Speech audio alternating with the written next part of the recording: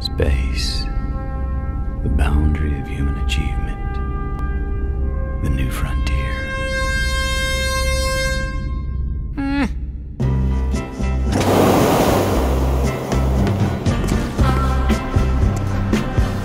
It's not time to escape. It's time to engage. It's time to plant more trees. It's time to build more trust. Time to make more space for all of us.